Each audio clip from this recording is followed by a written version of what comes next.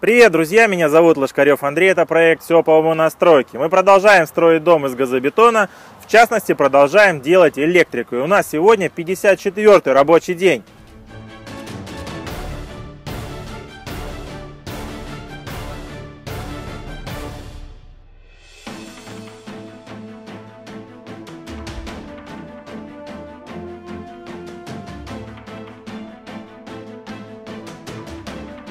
Итак, друзья, мы продолжаем делать электрику. Выпуск сегодня будет не очень длинный, потому что я вам практически все рассказал. У нас здесь э, новое, ну, в общем, что у нас тут нового произошло? Мы проложили всю проводку и теперь устанавливаем коробки, розетки, розетки и штробы заделываем ротбантом, вот этой штукой. Вот, также розетки тоже мы как бы клеим на ротбанд. А, как прокладывали мы проводку, вы видели. Вот, собственно, вот таким вот образом выглядит коробка. Из коробки происходит разводка уже по потребителям, по розеткам. А как замазывается ротбантом, я вам сейчас покажу. И как клеится, клеится а, розетка на ротбанд, тоже сейчас покажу. Значит, каким образом мы устанавливаем розетки? А, мы используем лазер для того, чтобы выставить розетку, вот насколько она будет, то есть коробка розетки, насколько она будет торчать от стены. Зачем нам это нужно? Изнутри мы будем стены наши газобетонные штукатурить. А, мы уже приглашали штукатура, который нам будет это делать. А, он нам сказал, каким слоем он будет делать.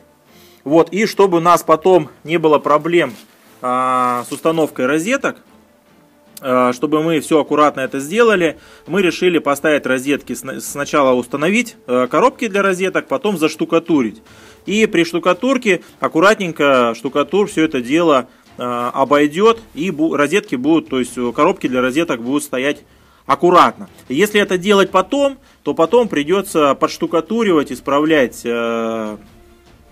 косяки, которые появятся вследствие того, что вы расковыряете штукатурку для того, чтобы установить коробки, а потом это надо будет как-то аккуратно заделать. В общем, мы решили делать сначала коробки устанавливать, а потом по ним будем штукатурить. Вот, чтобы нам коробки ровно выставить, мы используем лазер. Лазер это у нас, а, он показывает уровень штукатурки, который будет. И как вы видите, у нас а, лазер отсвечивается на кромке а, коробки, показывает, что штукатурка у нас прямо вот по кромке коробки пойдет. И по лазерному лучу мы восстанавливаем абсолютно все э, коробки на этой стене. Точно таким же образом мы поступаем и на других, э, на других стенах. По лазеру выставляем глубину.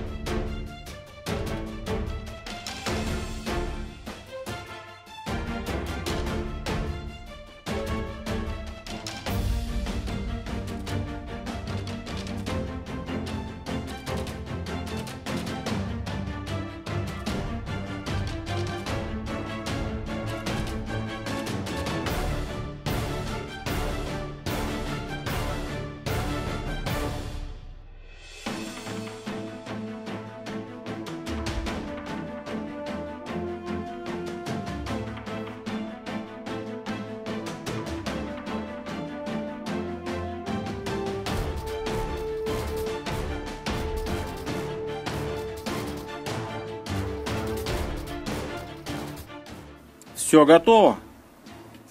Ну вот, друзья, в принципе и все. То есть сегодня у нас задача замазать все штробы, установить все коробки, установить все коробки под розетки. Вот, э, в санузле мы здесь уже все сделали. А, значит, у нас высота потолка будет э, как раз вот, где вот оранжевый э, провод, чуть-чуть ниже. То есть вот эти все провода, они будут за потолком, под потолком.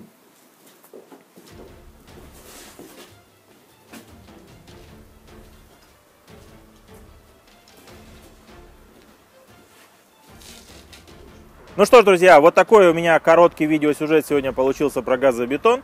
Мы продолжаем делать, устанавливать э, короткие, коробки, замазываем все ротбантом. Сегодня закончим первый этаж, завтра закончим второй этаж. И следующим этапом у нас будет штукатурка. А, по поводу ваших комментариев, что мы там накосячили с электрикой, я с вами полностью согласен, но наши косяки не критичные, Поэтому, то есть не смертельный, поэтому мы ничего переделывать не будем, все так и останется. Вот, заказчик почитал все комментарии, э, мы поговорили, побеседовали, в общем, решили, что все не смертельно, но, конечно, косяков таких вот, э, короче, косяки есть. Электрика сделана не суперски, но вполне в рабочем варианте, который переделывать нет смысла. Ну что ж, про газобетонный дом все. Хочу сказать э, пару слов по поводу будущих сюжетов. А, как вы знаете, я уже не раз упоминал, э, не говорил об этом. Э, я ищу объекты, которые хочу снять реальные стройки по другим технологиям, там не газобетон, не СИП, а вот все остальные технологии. И есть большая трудность, настройки не пускают. То есть реально у компаний, которые красиво выглядят в офисе, красиво говорят, у них красивая реклама, видать на стройках творится нечто, что они показывать не хотят. Вот, может быть у них строители некрасиво наряжены, может они боятся себе имидж испортить. Короче, настройки не пускают. И э, в день я звоню от 10 там, до 20-30 компаний в день, обзваниваю. Э, ну, не каждый день, наверное, раз в 2-3 дня есть чем заняться просто, чтобы там не целыми днями этим заниматься, звонить. А, все отказываются. Даже лидеры рынка, которые очень красивые и очень такие VIP, они тоже не пускают пока на свои стройки. Вот, тем не менее, а, есть компании, которые уже согласились. А, значит, съемки через две недели начнутся по технологии ЛСТК, легкие стальные конструкции. Это такие каркасные железные дома. Вот, договоренности получены, объект начнет строиться где-то через две недели, и я начну его снимать. Также через две недели примерно начнется строительство дома из клееного бруса.